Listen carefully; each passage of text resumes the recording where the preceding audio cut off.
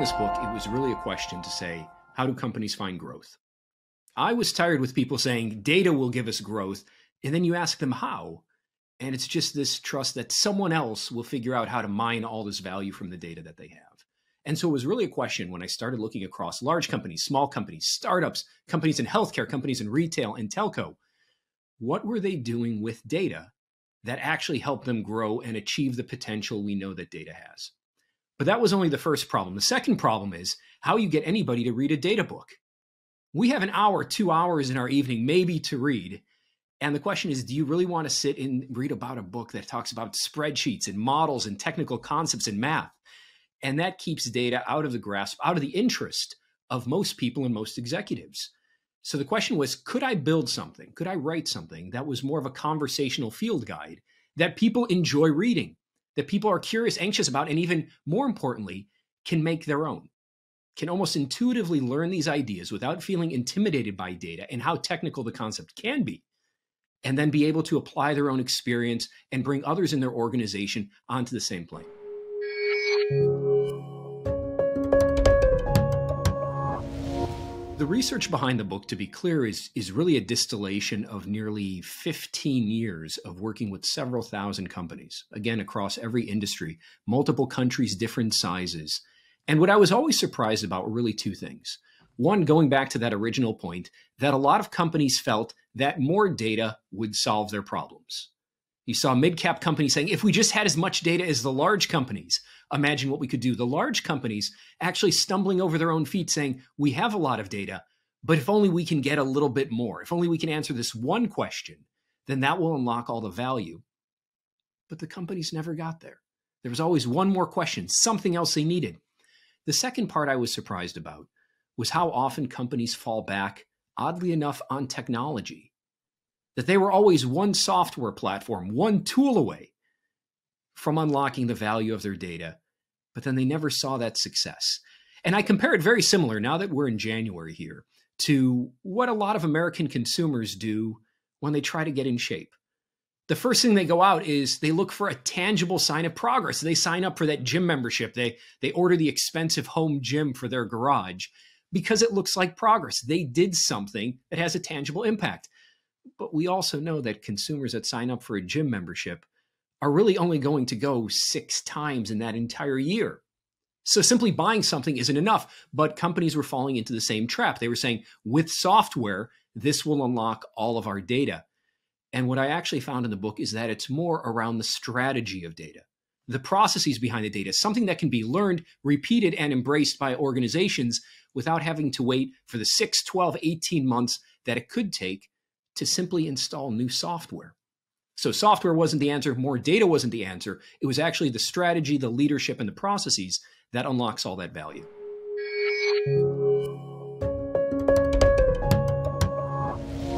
When we're talking about the move from clicks to conversations, what we're really talking at, about in its essence is the movement from short term to long term value.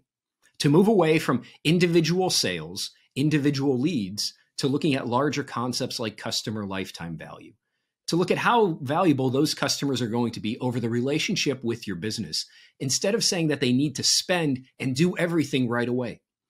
It just leads to different decisions. It leads to different questions with the data. And surprisingly, the long term focus, much better outcomes because you can trust those customers to come back. And to your question, it works remarkably well. It scales remarkably well because these models that look at things like customer lifetime value work great over large customer data sets. Larger patterns start to emerge. You have more prospects to target than if you just had a small pocket. So not only is it more intuitive, but it's also infinitely more scalable than just coming to the office every day and saying, how can we drive another 10,000 or another 100,000 transactions from our email or CRM list? And instead be able, being able to segment those customers to say, these are the great ones that we need to pay attention to and lean into. These are the ones that we might want to avoid.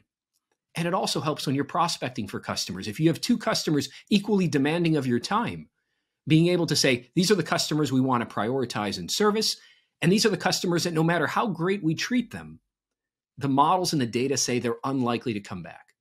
So we won't necessarily turn them around, but we're going to focus our time and our resources on those customers that are going to bring the most back to us.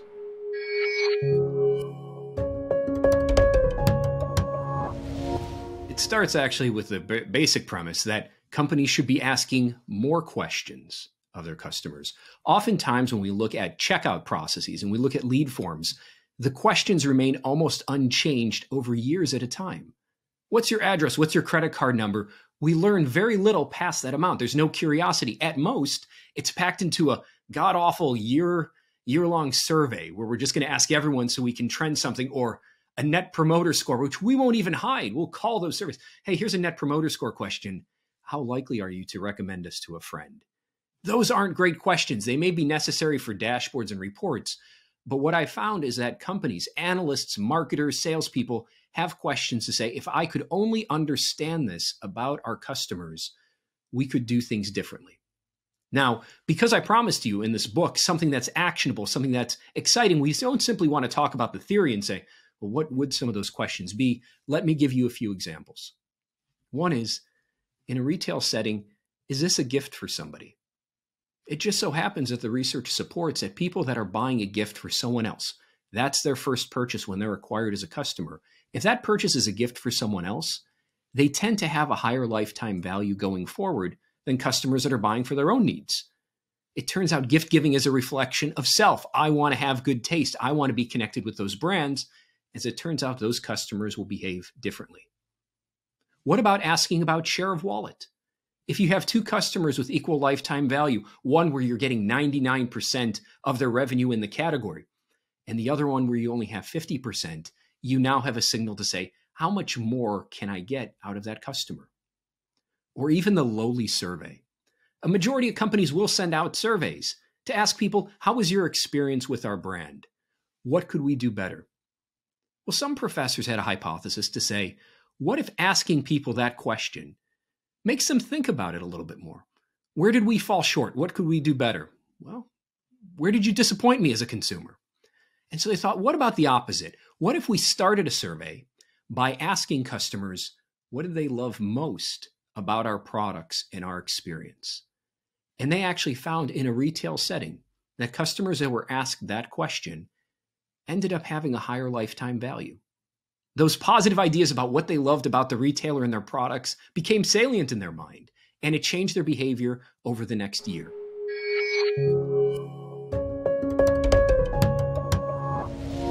The very first step is simply recognizing that this irrationality exists. A lot of companies will sit there and say, This is how we want to map a customer journey, how we see the consumers behaving. Oh, they're going to start here, they're going to look at our products, they're going to learn more, and after this period of time, they're going to convert. And that limits them because what they're effectively doing is forcing consumers to fit that mold without being curious about all the different reasons why customers leave. They make broad assumptions. Well, those customers didn't convert because they weren't interested in our products, or they didn't convert because our ad targeting was wrong. We brought in the wrong people. Instead of saying, did they want something that your journey and your process didn't allow them to have? One of the things that I discuss about the book was actually an automaker and in their mind, the customizing a car feature was their shopping cart. This was a way to get people through the funnel to see who's interested and by how much they were customizing their car, what the end value of that car would be. That's how they prioritized.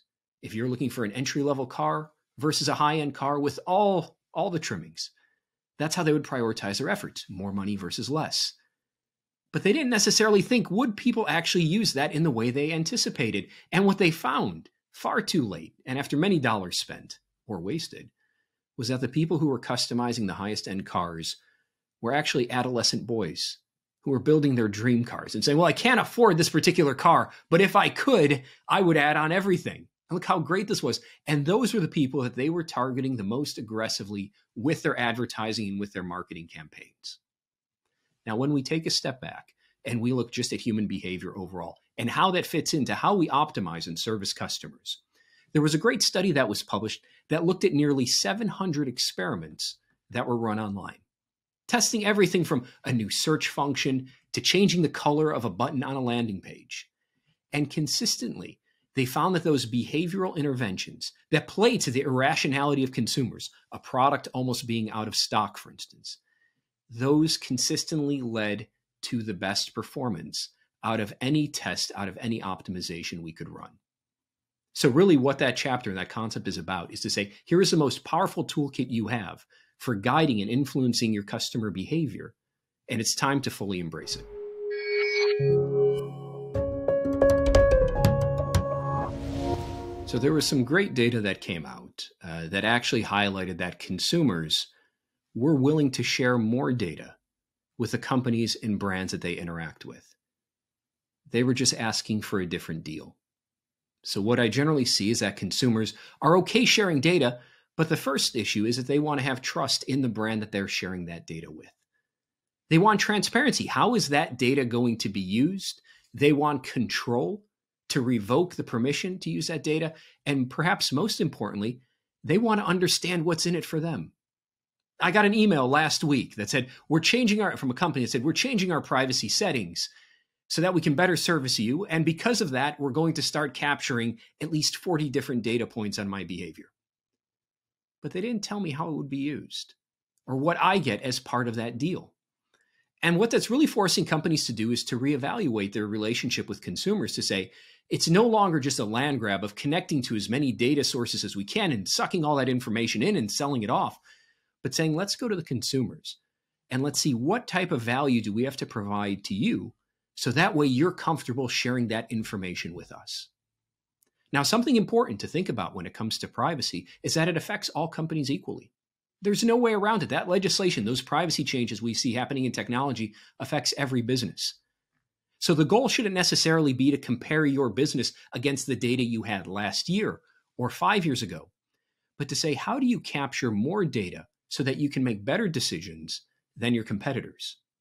That's how you're successful. And the key to that is how do you build more trust with your consumers? Now, there's a lot of work to be done in this space to say, well, what exactly is the right value exchange for consumers? What do they want? How, for how much information? For how long? But that's where companies are starting to invest. They're starting to say, let's get this right.